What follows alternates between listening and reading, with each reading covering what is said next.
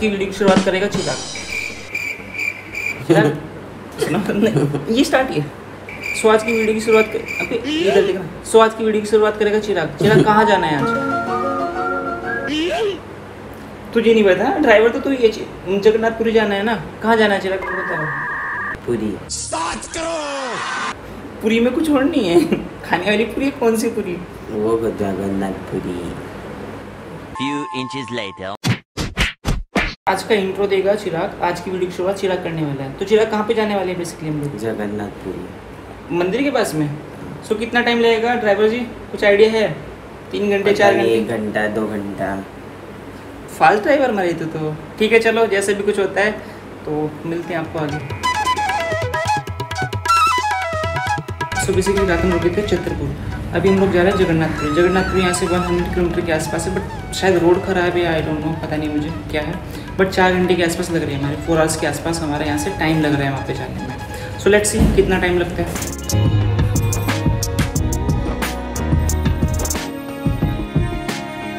So basically हम लोग अभी चेकआउट करेंगे will checkout in five five to ten minutes okay any sign और anything else checkout sir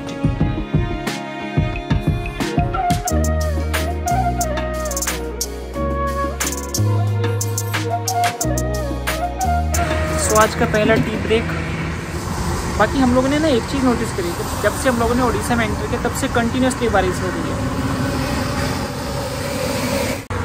थोड़ी थोड़ी ना कंटिन्यूसली बारिश हो ही रही है मतलब बंद नहीं है बिल्कुल भी।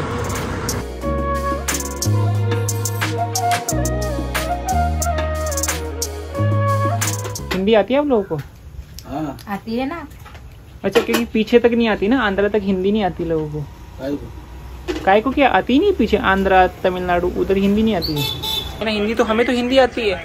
और इधर सबको आती है वेस्ट बंगाल में भी आती है इधर उड़ीसा में भी आती है इधर सब साइड में तमिलनाडु में हिंदी नहीं चलता है ना? नहीं तमिलनाडु केरला कर्नाटका वो चलता नहीं हाँ।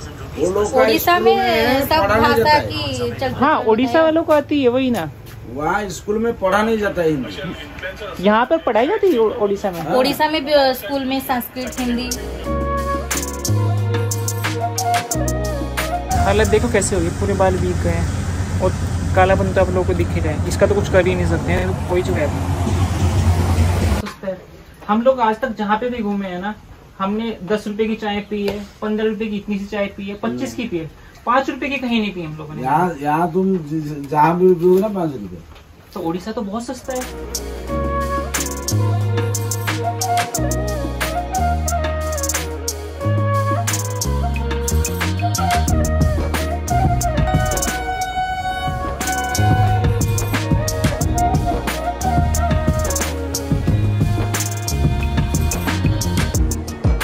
तब से बारिश ही हो रही है कंटिन्यूसली बारिश है। थोड़ी थोड़ी बारिश होती जा रही है।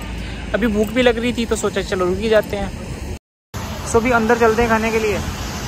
भूख तो लगी रही है ना यार खाना तो पड़ेगा ही। इसलिए गिम्बल को अंदर पड़ा है मेरे। बस।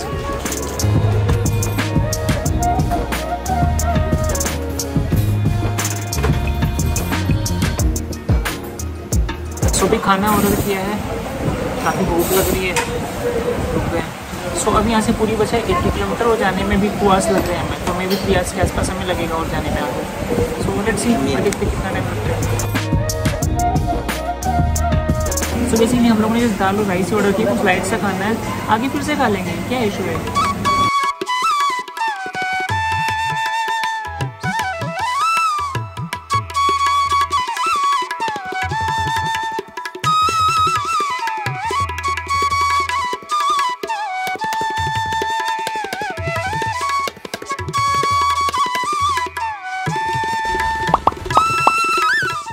फाइनली जगन्नाथपुरी पहुँच जाते हैं, जहाँ हम तो अलाउड होते हैं, लेकिन हमारा कैमरा नहीं। तभी हमें एंट्रेंस पे एक पंडित जी मिलते हैं, जो हमसे दो सौ में अच्छे से दर्शन कराने की डील साइन करना चाह रहे थे। जैसे तैसे करके वह हमें दर्शन तो करा भी देते हैं, लेकिन हद तो तब हो गई जब वह हमसे और पैसों की डिमांड करने लगे। हमें इन पंडित जी से छुटकारा मिला ही होता है कि अचानक दूसरे पंडित जी आकर चिराग के गले में चुन्नी डाल देते हैं। तो वे वाले पंडित जी भी हमसे पैसे मांगने लगते हैं तो चिराग उन्हें सौ रुपए दे देता है। लेकिन इतने में वे कहाँ संतुष्ट होने वाले थे? उनको तो पाँच सौ रुपए चाहिए थे। अब तक मुझे एहसास हो गया था कि यहाँ हमें बड़े तहजीब के साथ लूटा जा रहा है। यह सब होता देख मेरे दिमाग का पारा गर्म हो जाता है और मैं पंडित जी से बोलती हूँ कि क्या गोरख धंधा बना रखा है आपने? कोई बिज़नेस है क्या ये? खैर, वहाँ से दर्शन करके हम लोग भुवनेश्वर के लिए निकल गए। और भुवनेश्वर में हमारे साथ क्या कांड हुआ, वह हम आपको अगली वीडियो में बताएँगे।